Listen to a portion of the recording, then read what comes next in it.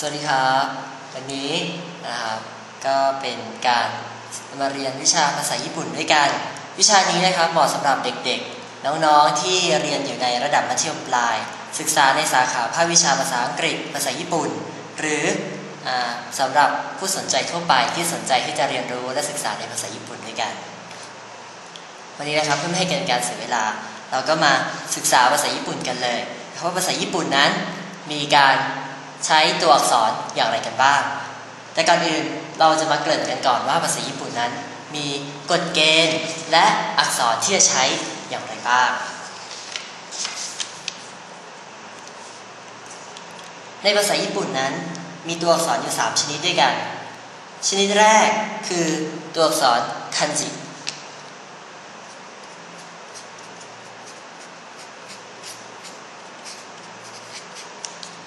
ตัวอักษรคันจิคือตัวอักษรจีนที่ญี่ปุ่นยึดมาใช้ ซึ่งตัวอักษรจีนชนิดนี้เนี่ยมีทั้งหมด 1,945 ตัว ตามที่กระทรวงศึกษาธิการของญี่ปุ่น ได้ทำการกำหนดไว้ให้ใช้ในการศึกษาการเรียนในประเทศญี่ปุ่น ซึ่งในระดับมัธยมศึกษาตอนปลายนั้น เราจะได้เรียนรู้คำศัพท์ที่จะเขียนด้วยตัวอักษรคันจินี้ประมาณ 500 ตัว แต่น้องๆไม่ต้องห่วงว่าเวลาอาจจะเยอะเกินไปแล้วก็จำไม่ได้ แต่การที่เราจะมาศึกษาตัวอักษรคันจินะเราจะศึกษาไปทีละนิดทีละนิดแล้วก็จำมันเป็นคำๆไป ตัวอักษรคันจิเพื่อง่ายๆแปลตามตัวอักษรเลย ตัวนี้คำแต่ว่าจีนจิแปลว่าอักษรคันจิก็คือตัวอักษรจีนนั่นเองสำหรับน้องๆที่เคยเรียนรู้ภาษาจีนมาแล้วก็อาจจะง่ายนิดหน่อยสำหรับการเขียนตัวอักษรคันจิ ต่อมาตัวอักษรที่ญี่ปุ่นนิยมใช้ต่อมาก็คือตัวอักษรฮิรางานะ ตัวอักษรฮิรางานะนั้นเป็นตัวอักษรที่เขียนขึ้นโดยสมัยก่อนนั้นเขียนโดยผู้หญิง ผู้หญิงเป็นคนคิด อักษรฮิรางานะขึ้นมา ในสมัยแรกเรียกว่าโอนนาเดะแปลตรงๆว่ามือของผู้หญิง ซึ่งฮิรางานะเนี่ยปัจจุบันนี้ใช้อยู่ทั้งหมด 46 ตัว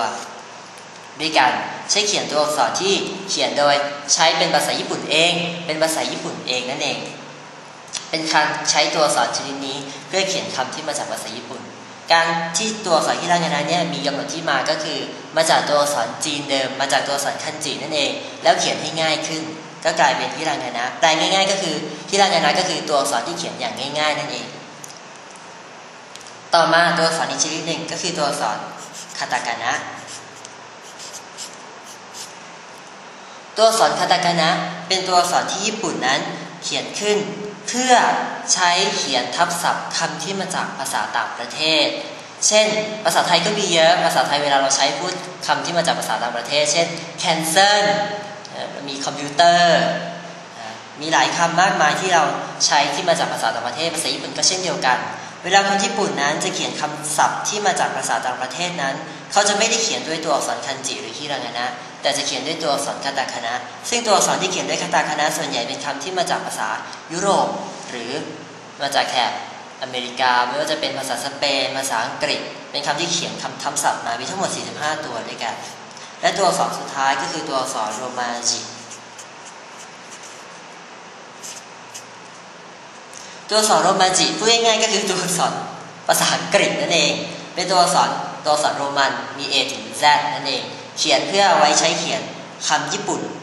แต่เขียนให้เป็นคำอ่านในภาษาอังกฤษ เช่นคำนี้อ่านภาษาญี่ปุ่น อ่านว่าวัตชิ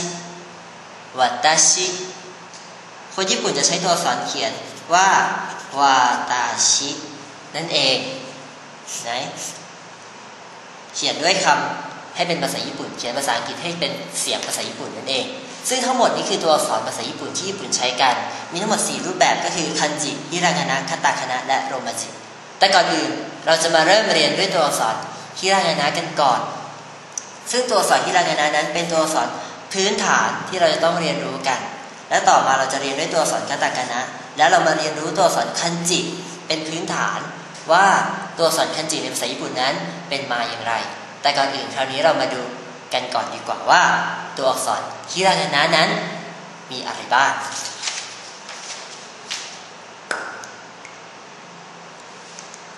ตัวอักษรฮิรางานะฮิรากานะจิตัวอักษรฮิรากานะในภาษาญี่ปุ่นนั้น มีทั้งหมด 46 ตัวด้วยกัน มีทั้งหมด 46 ตัว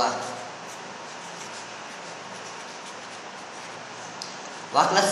วรรคละสิบมีสิบวรรคนะมีประกอบด้วยสิบวรรควรรคละห้าตัวกับเศษอีกหนึ่งตัว แต่เลิกใช้ไปแล้วห้าตัวเลยเหลืออยู่สี่สิบหกตัวนั่นเอง ซึ่งตัวอักษรที่รางานะนั้น ปัจจุบันก็เหลืออยู่แค่สิบหกตัวเท่านั้นซึ่งเดิมทีควรจะมีทั้งหมดห้าสิบเอ็ดตัว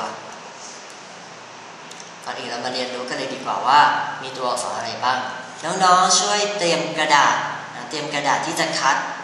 เตรียมที่จะคัดตัวอักษร แล้วก็ถ้าใครมีแบบคัดที่เป็นตัวอักษรภาษาญี่ปุ่นที่ซื้อมานี้ก็ยิ่งดีใหญ่เลย เพราะจะทำให้น้องๆนั้นช่วยคัดให้สวยงามได้ยิ่งขึ้น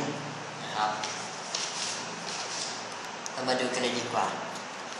อย่างที่บอกไปแล้วว่าภาษาญี่ปุ่นนั้น ตัวอักษรที่เรานะแบ่งเป็น 10วรรควรรคละ 5 ตัว เรามาดูอักษรญี่ปุ่นวรรคแรกใน 10วรรคกันก่อน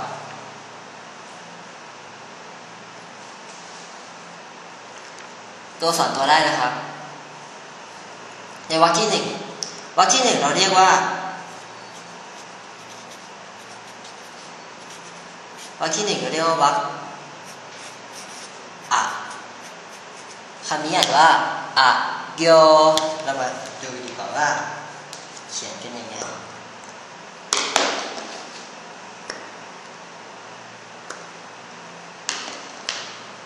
เตรียมกระดาษพร้อมยังครับ เราเริ่มกันเลย ตัวอะตัวแรกออกเสียงอะอะวิธีการเขียนดูนะครับหนึ่งสองสามเป็นเส้นปล่อย เวลาเส้นปล่อยก็คือทำให้ปล่อยปล่อยปลายปากกาตวัดให้มันแหลมๆเลย จะเห็นว่าปลายนี้จะแหลมๆจะเห็นว่าปลายปลายตัวอักษรอ่านนี้จะเป็นลักษณะแหลมๆนะแหลมๆ มีทั้งหมดด้วยกันสามเส้นด้วยกัน เส้นในภาษาญี่ปุ่นเวลานับเนี่ยให้นับจากการยกปากกาหนึ่งครั้ง ยกปากกาหนึ่งครั้งคือหนึ่งเส้น ดูอีกครั้งนะครับ ตัวอะหนึ่งสองสาม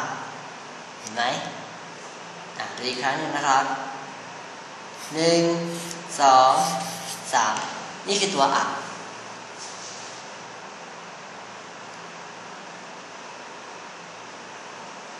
ต่อมา เรามาดูวรรคต่อไป เรามาดูตัวอักษรตัวต่อไปกันดีกว่า ตัวอักษรตัวต่อไปนะครับ มีอะแล้วใช่ไหมในวรรคที่หนึ่งวรรคอะใช่ไหมก็มีอะตัวต่อมาอ่านว่าอีอีมีทั้งหมดด้วยกันสองเส้นด้วยกัน เวลาเขียนอยากเบาๆไม่ต้องปล่อย ไม่ใช่เส้นปล่อยนะครับ เขียนเป็นเส้นหยุดเส้นหยุดจะเห็นว่าเส้นหยุดคืออะไร เส้นหยุดคือมันไม่แหลมนั่นเอง มันไม่แหลมนั่นเอง แล้วก็มีแต้มหนึ่งนะหลังเรามาเขียนด้วยกันอีกครั้งหนึ่ง